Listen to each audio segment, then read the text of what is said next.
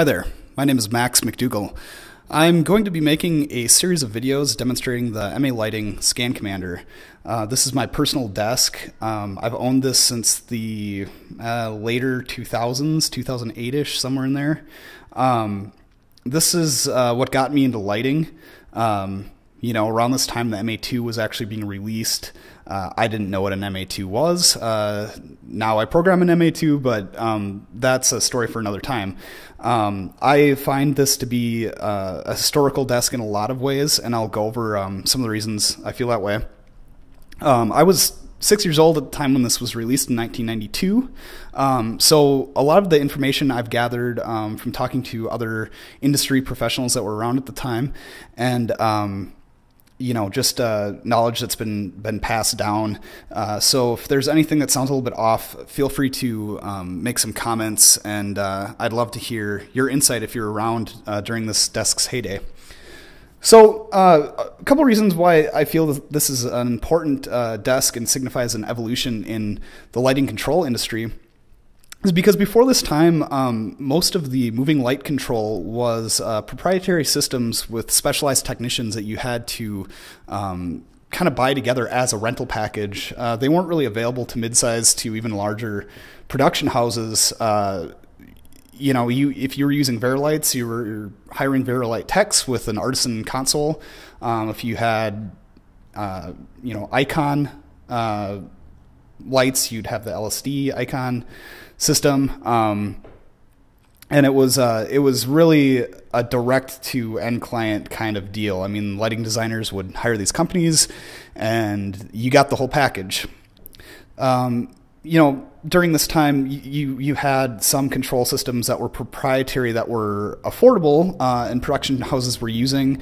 Um, a lot of those uh, controllers that came with those lights were dedicated controllers for that light, and you'd have to get a different module for each uh, type of light in your system.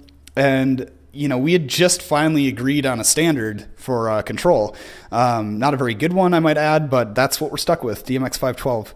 Uh, and in 1990, they loosened up uh, some of the timings, and um, USITT published the uh, DMX 512 1990 specifications.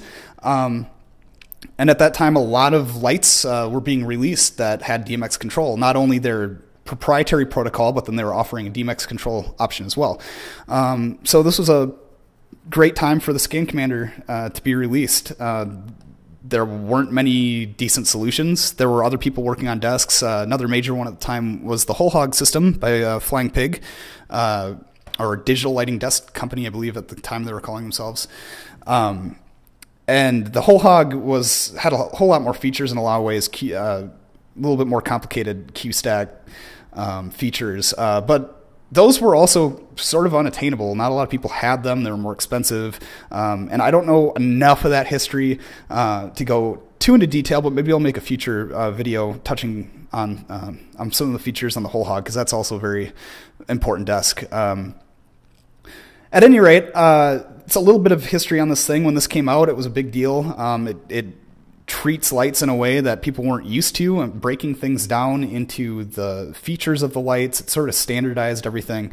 Um, why I personally like the desk, uh, more than just because this is the first one I ever used.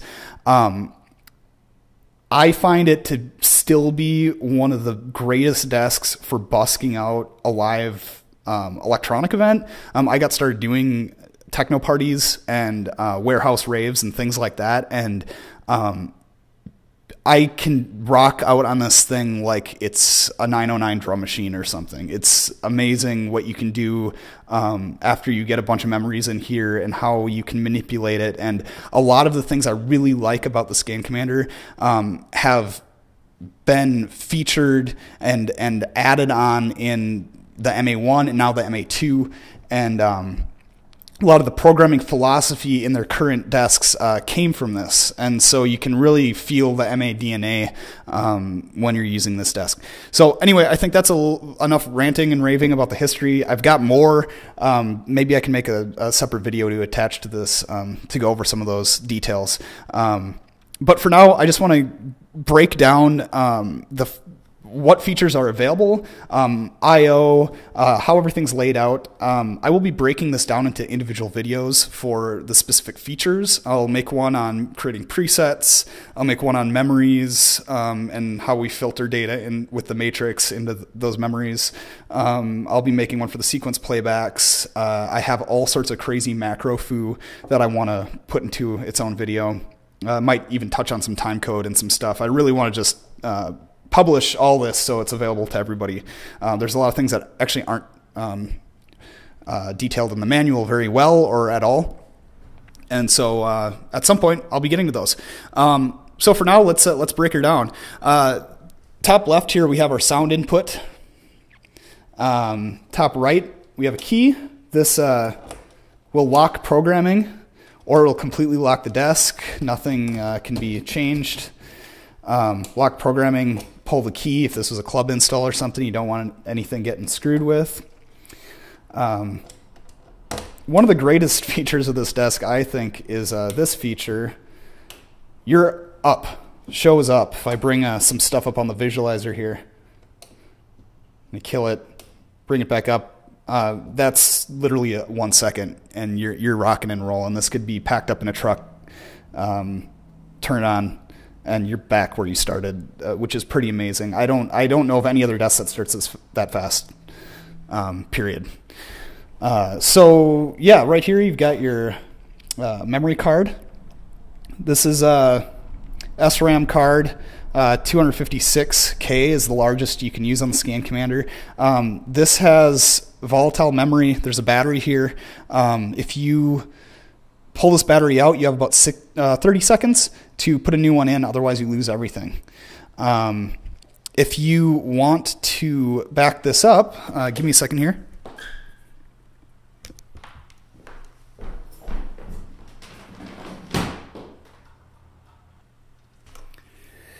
If you want to back this up, uh, you need one of these guys.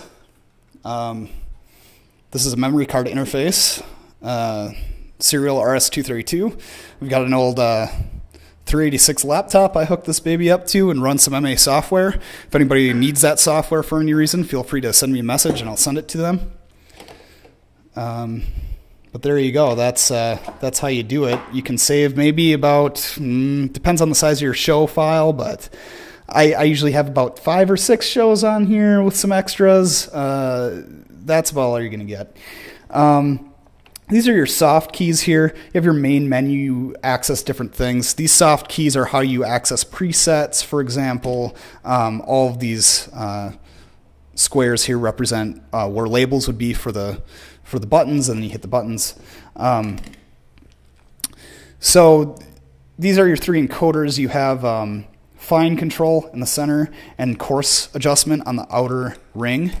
Um, to our right here, this is your feature selection. This is how you access presets. Um, you also have some uh, neat features, uh, freeze and sample, which I'll go over later.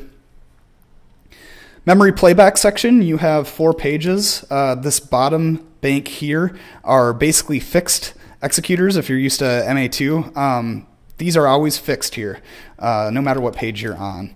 Uh, this is a list button. Some of my buttons are, uh, the silk screening is rubbed off, uh, so I'll kind of talk that through those. Uh, list, um, if you hold it, it will bring up your labels for this uh, playback matrix. Um, if you double tap it, it'll hold um, it'll hold that screen up for you. Um, this is a rate fader, also lets you crossfade between these memories. Um, scan selection, you have 16 moving lights uh, that can be used with this desk. They can be of different manufacturers, um, but you only have 16. You also have extra channels, which are um, access to the feature selection. Um, those actually uh, give you quite a bit more. Um, you have, uh, I believe it's 48 um, per extra channel, and that breaks down uh, for three channels per selection here. Um, we'll get into that in a later video.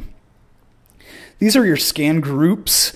Um, brightness masters. You assign groups to these buttons. This brightness master um, think of it as a group master on an MA2. Um, they're always going to be brightness masters. That's going to be a group, and this and this is going to control the brightness, and this will be a flash. It's always going to be that way, whatever you store here. If you need more lights, more moving heads, um, you can buy an expansion unit, which is basically the MA scan commander and a brain um, that gets connected, um, and that will allow you expand. Um, you can also add more scan commanders. Um, when you do that, you can actually select the lights and then go over to the next scan commander, select some more lights, and then save them all to a group. And now this brightness master in this group will uh, select um, everything you've selected across all of the desks or expansion units. Uh, and that's how you'd control that. You'd still have to select individual um, lights on the other desks. But that's that's what they were working with back in the mid 90s. Over here we have our sequence playback. This is uh, almost like a sequence executor, basically. Um, to again go back to MA2 uh, terminology, with I, I assume most uh, viewers that are watching this video at least have some familiarity with uh, MA2 or MA1 for that matter. Um, you have uh, this matrix here that uh, allows you to to create a stack basically with individual timings uh, for each step. Um, I should mention over here these are uh, chasers with the two LEDs on each of these uh, buttons here. You uh, you have six chasers on each page, and then plus these two fixed. Um, chasers you can't change individual timing between steps but you can change the uh, crossfade between steps and the time um, so that's neat. Uh, the sequence playbacks will uh, record all of your data, but uh, they, they can also reference uh, memory playbacks, and we'll get to that in a later video as well.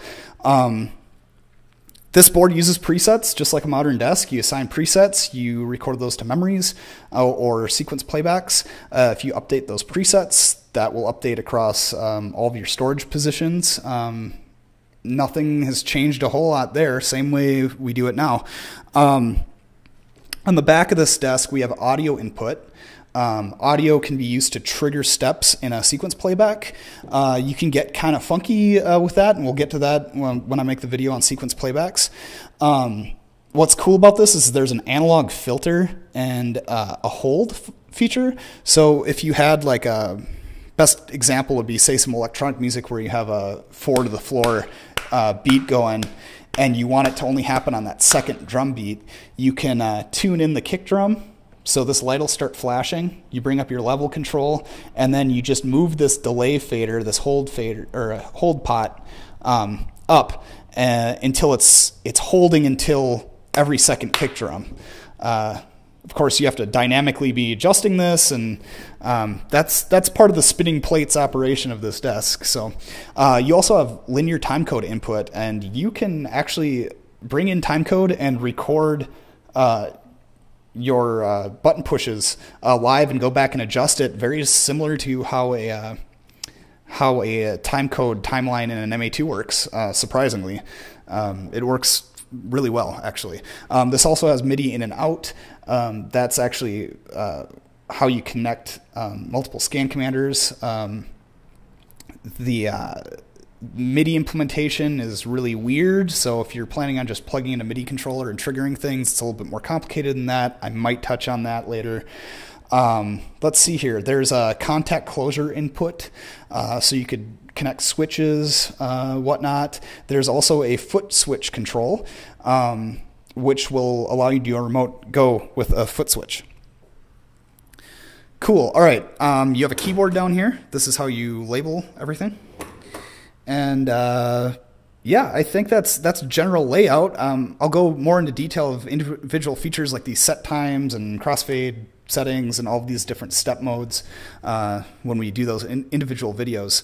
Um, I'm just going to quickly, uh, before the end of this video, step through um, some of your setup options.